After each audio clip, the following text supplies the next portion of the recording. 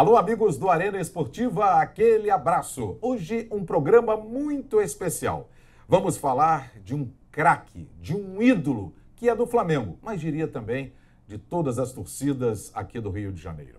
Eu trato de Zico, 70 anos, no dia 3 de março de 1953, quando o Galinho de Quintino nasceu. E Zico, maior ídolo da história do Flamengo, está com a gente. E para conversar conosco, temos a presença dele, Zico, e também do jornalista Rafael Marques, que é do Sistema Globo de Rádio e da ESPN Brasil. Zico, nesta abertura, quero agradecer a sua presença aqui no Arena Esportiva. Obrigado, Rui. É um prazer muito grande né, bater um papo com vocês, com Rafael, a quem tem também uma grande admiração. Trabalhamos juntos lá na, na, na, na Rádio Globo, é, fizemos diversos programas juntos, agora acompanho ele lá na ESPN, sempre é, em dia com tudo que está acontecendo no futebol e, além de tudo, uma figura humana espetacular. Então, um prazer grande estar aqui com você. Nós é que agradecemos também a sua presença. Rafael Marques, você que já tem uma cadeira cativa aqui no Arena Esportiva, obrigado também pela sua presença. Eu que agradeço, Rui. Um abraço para você, para o Zico. Depois dessa introdução do Zico aí, não tem mais o que dizer, né? Qualquer coisa que eu fale vai ficar com menos impacto. Obrigado, Galo, pelas palavras. Você é um grande amigo. É, dois anos trabalhando juntos lá no futebol de verdade. Tivemos momentos maravilhosos, marcantes, com o Juninho Pernambucano, com o Felipe Cardoso, com todos os nossos amigos lá. Satisfação saber que você é meu telespectador. E eu quero conectadas também. Quando eu falar besteira, manda aquele WhatsApp. Ó, oh, tá falando besteira. Não tá assim o jogo, não. Você tem pista escancarada comigo sempre. Obrigado pelo carinho, é um prazer estar nesse programa especial para você. Obrigado a vocês dois aí. Zico, 70 anos você fez recentemente, no dia 3 de março, foi uma linda festa no Jockey Club, aqui do Rio de Janeiro, seus amigos, parentes, enfim, colegas da imprensa. E você não é só ídolo do Flamengo, não. Você é ídolo de todas as torcidas. E eu diria para você, do mesmo jeito como foi o Roberto Dinamite, ídolo do Vasco, eterno ídolo do Vasco, você, Pelé, Garrincha, eh, Roberto, Carlos Alberto Torres, que não está mais entre a gente. Enfim, são pessoas especiais. E eu queria que você falasse um pouquinho de você, Zico, nesses 70 anos de vida, de uma carreira vitoriosa vitoriosa no Flamengo, vitoriosa por onde você passou, Zico. Obrigado pelas palavras, Rui. E você citou aí caras é, do mais alto nível, né? E importante estar, estar ao lado deles. E muitos eu trabalhei junto, né? É, tirando aí o, o Pelé e o Garrincha. Pelé ainda, ainda cheguei a jogar duas vezes com ele e, e duas vezes contra. E o Garrincha, que eu só assisti é, quando, no final da carreira dele, ele jogou um pouco lá no Flamengo, eu estava chegando na escolinha e vi ele nos treinamentos, era uma maravilha. O Garrincha foi, foi a única pessoa que é, eu fui assistir um Flamengo e Botafogo com é, nove anos e o Botafogo ganhou 3 a 0 com três gols dele e eu não saí aborrecido do estádio né? porque era o Garrincha, era a alegria do povo, era aquele jogador sensacional, né? que tinha praticamente é, ajudado o Brasil né, a ganhar duas Copas do Mundo, né, de 58 e de 62. Então, a gente fica, fica muito feliz de, de poder ter tido uma vida. Eu, eu considero, eu tenho uma palavra para minha carreira, é determinação, sabe? Eu procurei em todos os sentidos, em todas é, as áreas do futebol, me determinar para sempre procurar fazer o melhor dentro de campo e, e, eu sabia que tinha uma torcida fantástica que passou a acreditar em mim, a confiar em mim. Então eu me determinei de uma tal maneira de que é, eu fazia de tudo para chegar à perfeição, seja no funda nos fundamentos do futebol, na parte física, na parte tática, na parte técnica.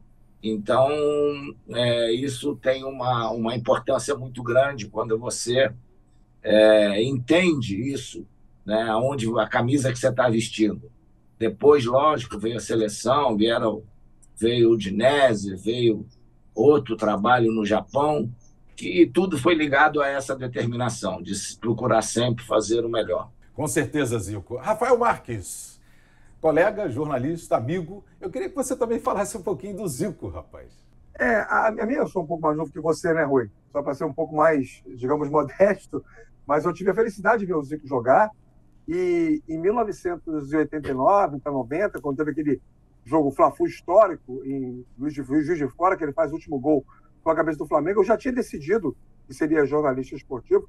Eu tive a oportunidade de poder contar essa história para o Zico pessoalmente na Rádio Globo. E ali, ouvindo o Luiz Carlos Silva narrar aquele gol, é que eu pensei, caramba, será que eu vou ter oportunidade de, trabalhando, poder cobrir jogos com um cara desse tamanho no campo? E aí Deus me deu a oportunidade de cobrir jogos com Romário, de cobrir jogos com Ronaldo Fenômeno, com Ronaldinho Gaúcho, com Kaká, com grandes jogadores, mas nenhum do tamanho do Zico no Brasil. Eu tive a felicidade de trabalhar em jogos do Messi na Copa do Mundo de 2014, no estádio, mas nenhum no Brasil com o tamanho do Zico. E muitas perguntas já foram feitas, acho que não tem nenhuma pergunta que o Zico não tenha respondido até hoje. Mas quando se fala de carreira, é muito fácil perguntar para ele o que faltou. Talvez ele vai dizer ganhar uma Copa do Mundo pela seleção brasileira. Já respondi isso algumas vezes. Mas a minha pergunta é de fundo pessoal. Três filhos, vários netos, um casamento consolidado com uma mulher parceira de vida para tudo, a quem você sempre enaltece, a Sandra. Em 70 anos, faltou alguma coisa para você na vida pessoal? Não, não faltou. Eu acho que Deus foi generoso demais comigo, né? Me deu tudo a, todas as bênçãos, né? Para vir de uma família maravilhosa, né? Meus pais que, que trabalharam muito, se sacrificaram para para ajudar e não deixar faltar nada para os seis filhos que eles colocaram no mundo. Todos seis, eu não tenho dúvida, deram muito orgulho para ele, para eles né, fazendo aquilo que principalmente meu pai queria, que era se formarem né, e, e não deixarem nunca de lado os estudos. Né? Quando meu irmão Antunes foi o primeiro aí para futebol, prometeu para ele que não ia que não ia largar os estudos, estudava numa escola fortíssima e maravilhosa como o Pedro II, lá. Quase todos passaram em escolas públicas para evitar gastos do dele né? Que era um alfaiate trabalhador, minha mãe uma dona de casa sem parar. Então a, a gente, é, eu acho que deu esse orgulho a ele. Quando eles foram embora, os seis filhos formados, seis filhos caminhar encaminhados na vida, mais do que ser pai de ser é, jogadores de futebol famosos. Então, é, a satisfação, lógico, dele muito grande, por ser um grande rubro-negro, e ter um filho que é ídolo do, do time dele de coração. Né? Então, eu, dentro do campo, muitas vezes sentia isso, de poder é, saber que eu estava dando alegria para o meu pai. Né? E, lógico, para mim, que era torcedor, para todos os irmãos que eram torcedores, são torcedores do, Flamengo. Então, é uma família rubro-negra. E, lógico, com isso foi uma, uma satisfação muito grande. É, tive a oportunidade de, de, de, conhecer uma, uma mulher maravilhosa com, cinco, com 15, 15 anos. Né? Aos 17, ela tinha 14 quando nós começamos a namorar. Dancei a valsa de, de 15 anos dela.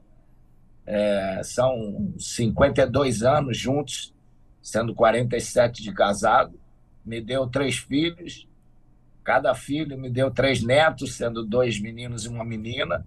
Então, ontem tinham seis aqui em casa. Cada domingo, cada final de semana, sempre está recheado aqui em casa. Então, isso, você chegar numa idade dessa, podendo brincar com eles, podendo estar é, tá junto com eles, é, é gratificante. Né? Só Deus mesmo que pode te oferecer essas coisas. Maravilha. Já conectado com a gente também o deputado Rodrigo Amorim, que eu vou também aqui mostrar a faixa, porque a equipe técnica aqui da TV tem tudo que é time, né? Tem Vasco, Botafogo, Flamengo, Fluminense. Mas essa aqui, eles pediram para exibir. Eu falei, com certeza. Deixou chegar, Zico. E aí? Agora tá complicado. É complicado. Né? A gente sabe, respeita muito, né? Saber que os últimos quatro anos deu Fla-Flu. Na minha época dava Flamengo e Vasco. Todo ano tinha decisão é Flamengo e Vasco.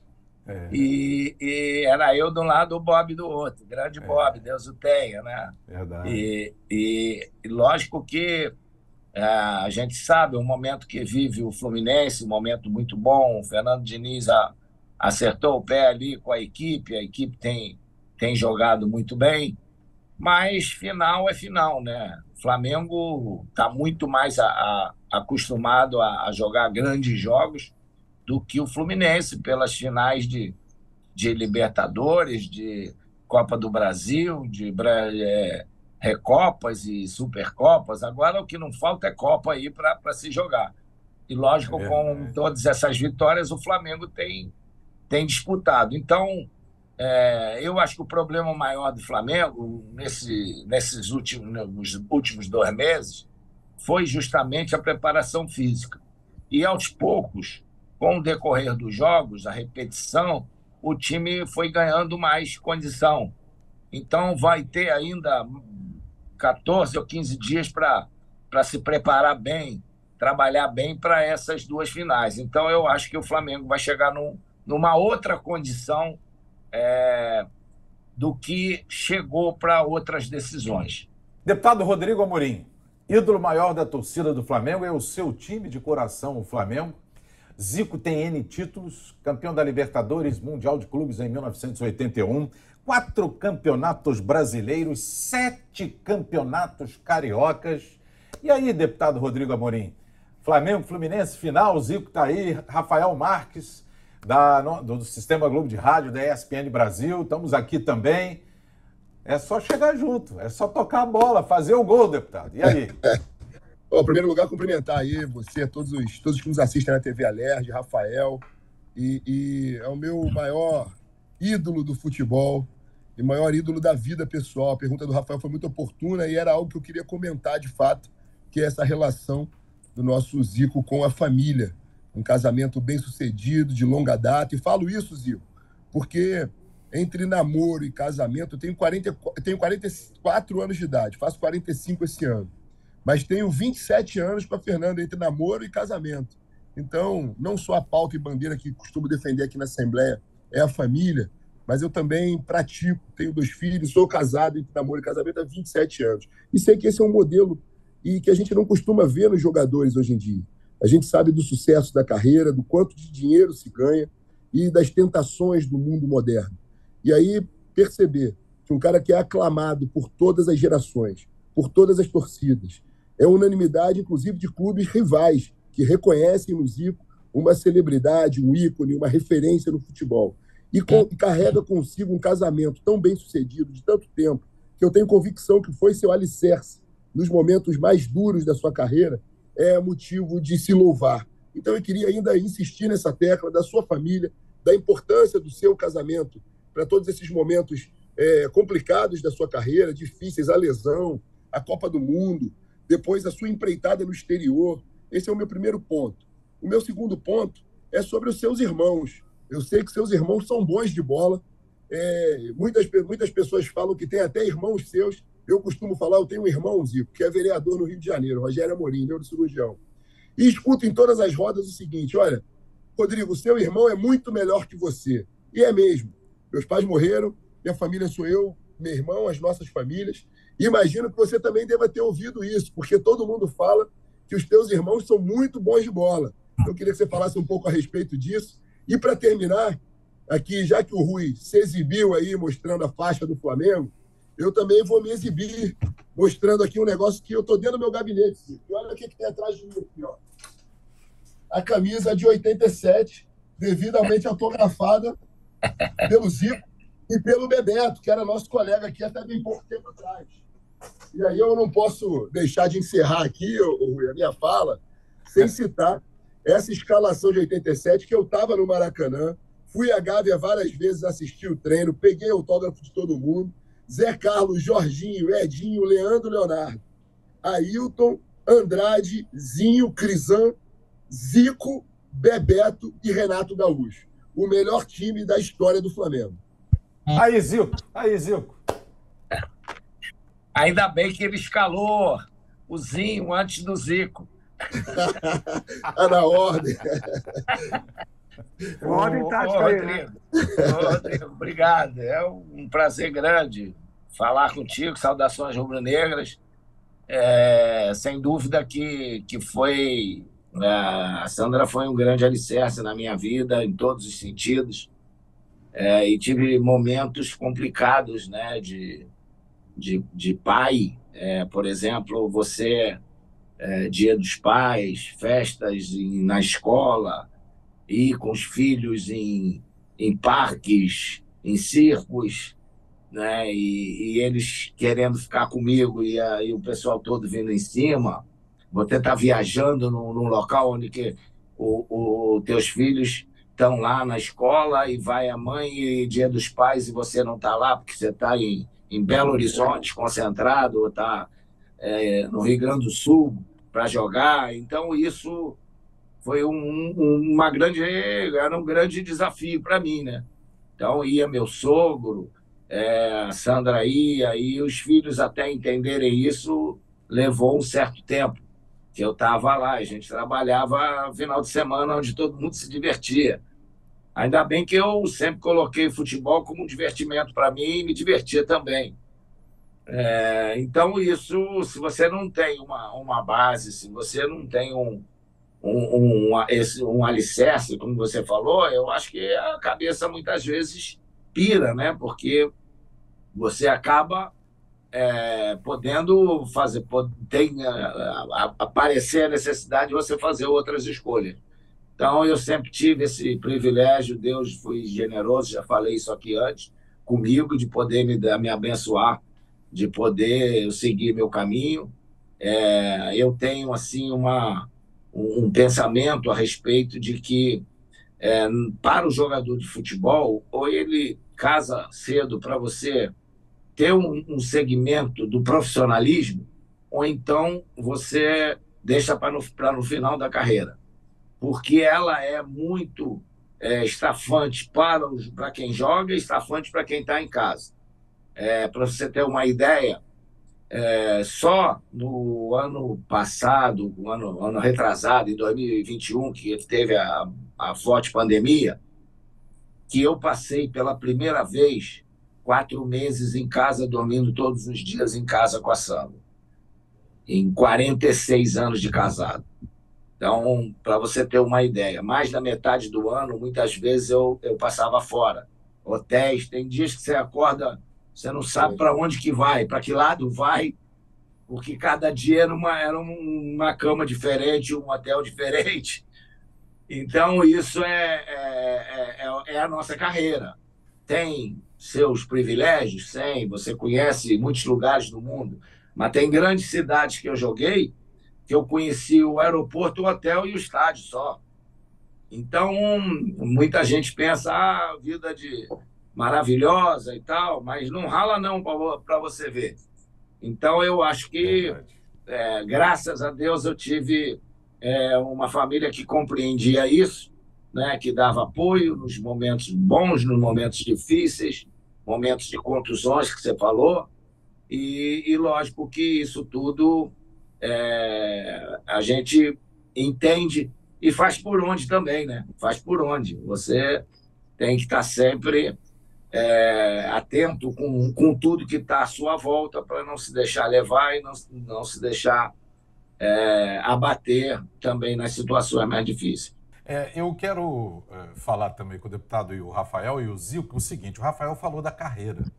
Eu comecei em 81 na Rádio Mauá, que era no sexto andar da Rua do Livramento 189, e a Rádio Tupi, sobre a Rádio Tupi era no oitavo. Eu sempre gostei de rádio, né? depois fui para a TV, e sou rádio maníaco, porque eu adoro rádio. E a última vez que eu gravei com o Zico, eu estava na Band, já tem um tempo, e foi lá no CFZ. Aí o Zico cantava a minha vinheta, porque ele ouvia na Rádio Globo, ouvia na Rádio Tupi, Rui, Guilherme. Aí aquilo para mim foi é, muito bacana, porque eu não tive essa oportunidade no início da minha carreira de entrevistar o Zico quando o Zico era jogador de futebol. Depois é que eu passei a entrevistar o Zico quando o Zico, é, uh, tudo bem, já estava jogando no Japão, jogava na Udinese, né, e tudo, mas eu não vivi dentro, fora das quatro linhas, mas ali à beira do gramado, o Zico jogando, mas vi o Zico jogando. E o Zico falou uma frase que eu até ri bastante, comentei com ele ainda há pouco, antes da gente gravar, que dois portugueses, né, Zico, deram certo no Brasil. Aí eu falei, quando eu vi isso na televisão, não, três. Porque meu pai também deu certo, ele também era Patrício. Aí o Zico falou essa frase. Eu, Zico, fala da frase aí, porque eu achei sensacional. Foi uma jogada maravilhosa na tua festa de 70 anos lá no Jockey Club. É, eu falei que é, não no Brasil só, mas no Flamengo, né? É é, os portugueses é, tinham dado certo. Era meu pai, e muitos anos depois veio o Jorge Jesus. Isso. Então, não vamos achar que, sem nenhuma cornetada, né? Vamos achar que toda hora tem que ver o português que pode dar certo. É. Né? Então, é, é, um momento, eu acho que é o momento do, dos é, treinadores europeus, né? não sei por que cargas d'água, se começou a marginalizar um pouco os treinadores brasileiros, treinadores campeões de é, campeonatos mais um dos campeonatos mais difíceis que é o campeonato brasileiro no mundo, tá?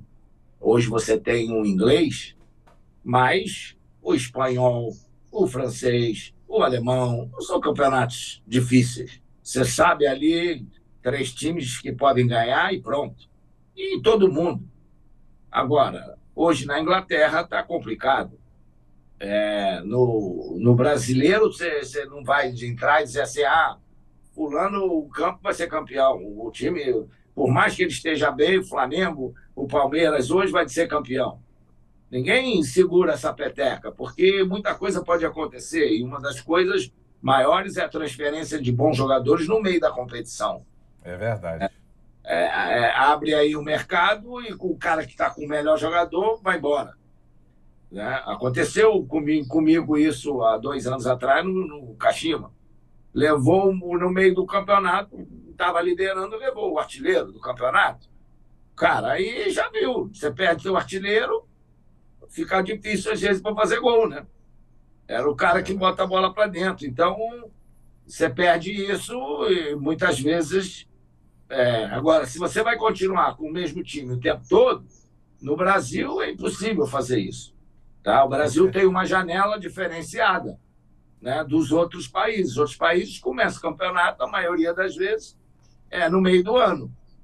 E o Brasil não. E o Japão acompanha do Brasil, o calendário do Brasil. Então, isso pode acontecer lá também. É, então, eu, eu acho que é, esses treinadores brasileiros começaram a, a, a, a serem colocados de lado. E, lógico, deu certo com Jesus, deu certo com o Abel, mas quantos não deram certo, que vieram para cá e não deram certo? É verdade. Entendeu? Então, e não foi só no Flamengo, é em outros, outros times também já antes mesmo de vir o Jorge Jesus. Já tinham vindo para cá treinadores estrangeiros que não deram certo.